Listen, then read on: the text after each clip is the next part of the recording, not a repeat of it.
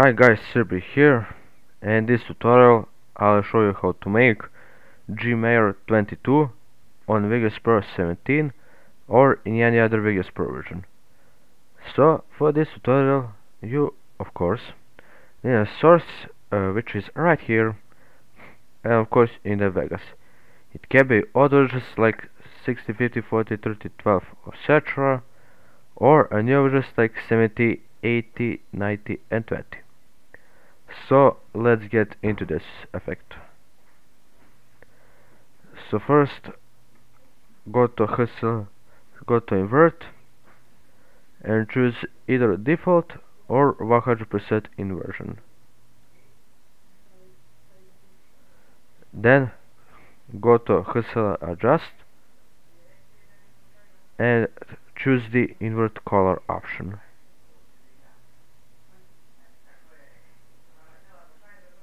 And and for the last effect you need to go to one of the NewBlue new blue effects and that one is the earthquake one. Just uh, let me find this uh, there. And the one that you have to choose is the big one. And so this is how it basically the big one looks like. The magnitude all of all of the options in the big one are in the 100 there. Now since we have the visuals uh, we can now go for the audio. Audio. So for the audio effects you need to go you first need to go to the ELO vocodex there. And then and then choose the preset of the clearer. So for the clearer this is how the clearer looks like the the piano key is ensemble.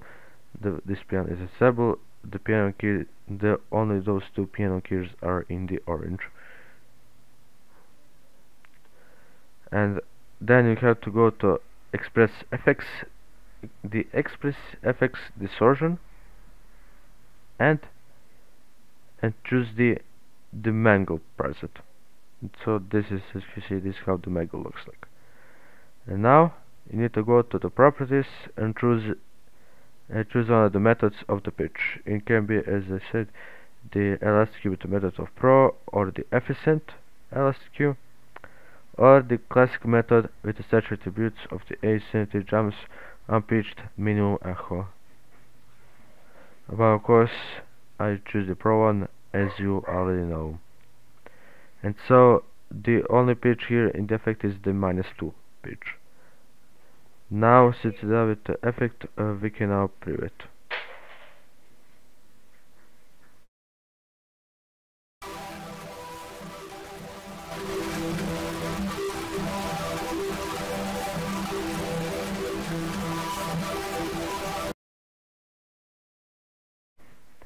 Alright guys, so that's for this tutorial.